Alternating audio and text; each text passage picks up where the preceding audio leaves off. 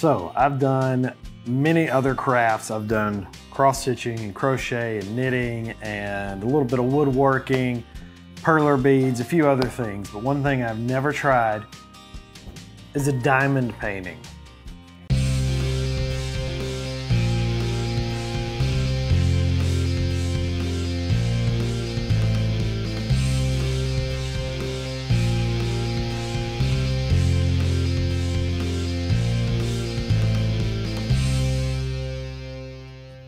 So I was contacted back uh, last month about doing a sort of unboxing review of a diamond painting from Victoria's Moon. I've, I've seen one other person before I, before they contacted me. I'd seen one other person do it have anything to do with diamond painting, and it was one of the, the uh, people that I follow on YouTube that does uh, Pokemon videos, and one of one of them did a diamond painting, and I thought it looked really cool. So when they emailed me, I went and checked it out, and I thought, yeah, why not? I'll do it. It looks kind of fun. So this came in the mail. It was wrapped in black plastic, which is okay, I guess. Mm. Protects it, yeah. So inside, and I opened it to make sure everything was in here, but I haven't actually done anything with it. So you get in here, I got a sheet with all the colors. So you get these little resin diamond things. Um, and then this is just a chart that, that uh, shows each number of the package, the symbol, and the color, which could be helpful. It's also the same, the same legend is also on the uh, canvas that you get with your pattern on it. Uh, they also sent, in addition to the toolkit you usually get, they sent this pin here, which I, I wasn't entirely sure what each of these ends did. So I had to go look on their website.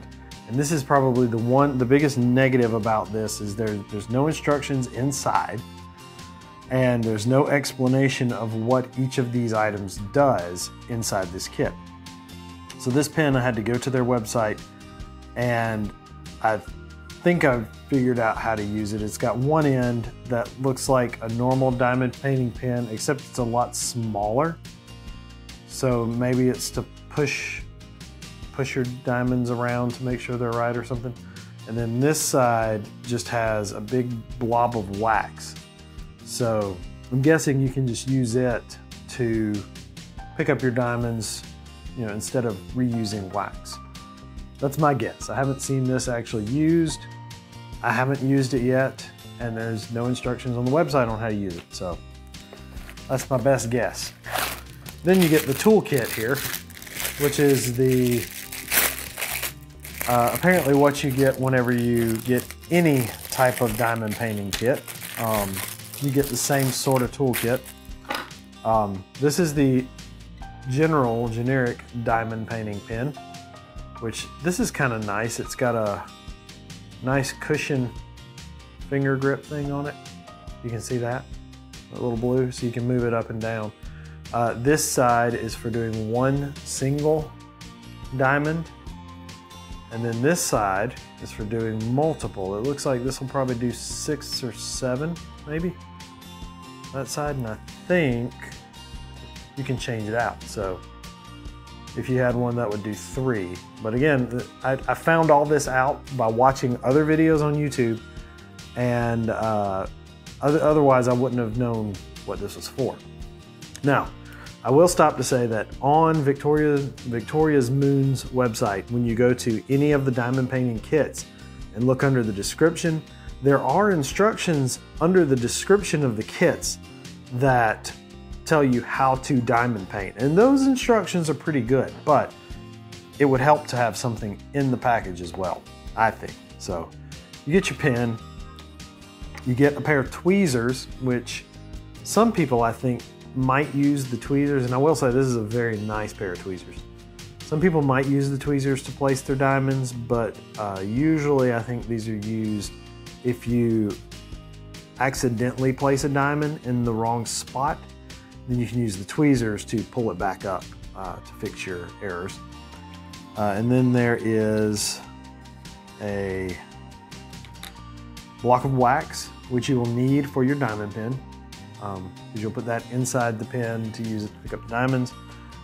And then you have a tray that you use to pour your diamonds into, uh, keep them organized while you're doing your diamond painting. And then the last thing is this little piece of, I don't know what. It's, I don't know. It's not wax. It feels like it may be some type of tape, some type of, I don't know. No instructions. Don't know what it's for. So we'll leave it at that.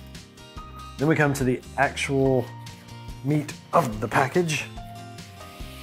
Just pull it all on out. We have, and I got quite a large one. This will be my first diamond painting. Uh, and I decided not to go easy. So not only did I get a very large, uh, a very, very large canvas here. This is the largest size they would, they would let me have. Um, you see it kind of fills up the whole table in front of me. So I got a large canvas, um, but I got the square drills, which the diamonds are called drills. And square are apparently a little bit more difficult. They don't look more difficult to me. Uh, you just have to make sure that they that you don't put them in like a diamond shape when you put them down. They have to be matching the grid where if it's a round drill, you just plop it in there and it, it just goes in. Um, but they don't really look that more that much more difficult to me. And you can see there's quite a few little bags. One thing I really like about this Victoria's Moon kit compared to other kits I've seen people do on YouTube is each one of these bags that your, your little resin diamonds come in uh, is a little Ziploc bag. So you don't have to pull them all out and store them in some other container. You already have them stored in nice little Ziploc bags. So you just pour out your diamonds. So let's just say you're gonna start with this color right here, number three, 169. You would just take your diamonds, open up your little Ziploc bag, pour some of them into your tray, like that. Shake them out, get them all good. And I don't know if y'all can see that from way over there. But you finish with your diamonds, just pour them right back in that bag. And those do not want to come off. And there you go. And then just take that one that I dropped, seal your bag back up. That to me is, it's a very simple, simple little thing, but it's very useful and I really like that that would be one, one thing that would make me consider possibly reordering diamond kits from Victoria's Moon because they put them in little Ziploc baggies and it's not a little thing you got to cut and then store it in something else. You don't have to have any extra equipment to do this. It all comes in here and it all comes nicely stored. So anyway, get those out of the way. This is the canvas and it's covered by this uh, wax paper type stuff um, because underneath it's really sticky and I'll try to pull up a little bit. I don't want to mess it up, um, but just a little bit so y'all can see. Underneath here there's a very sticky layer and that is where you'll stick all your, your little resin diamonds down. I'm going to cover that back up. Uh, and from the videos I've seen online, it's, it's a very simple thing to do. Um, it looks very fun. I'm very much looking forward to starting on this. This has basically just been an unboxing video of this. I'm gonna start working on this soon. I may do another video or two if y'all are interested in watching me actually do some of this diamond painting and then maybe at the end a review of the kit. But I, th I think overall I can do a decent little review of it now. I'm, I'm fairly satisfied with this. Uh, I know it's my first one I've ever done, and I haven't actually done it yet. This is the first diamond kit, diamond painting kit I've ever gotten. Uh, I really like that all these come organized, little Ziploc bags. That's a plus.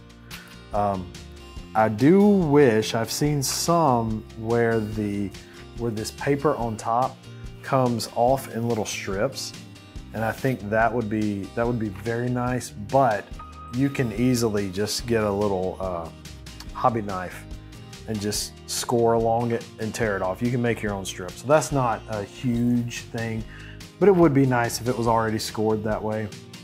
Um, the little toolkit has everything you need.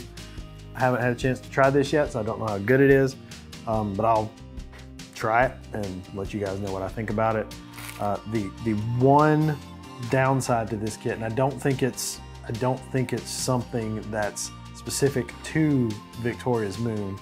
Uh, from what I've seen, it's probably this way with every kit, is that if you want to learn how to diamond paint, you're not gonna learn it from the kit. You're gonna need to go watch other people on YouTube or find some instructions somewhere else. You're not gonna get instructions in the kit.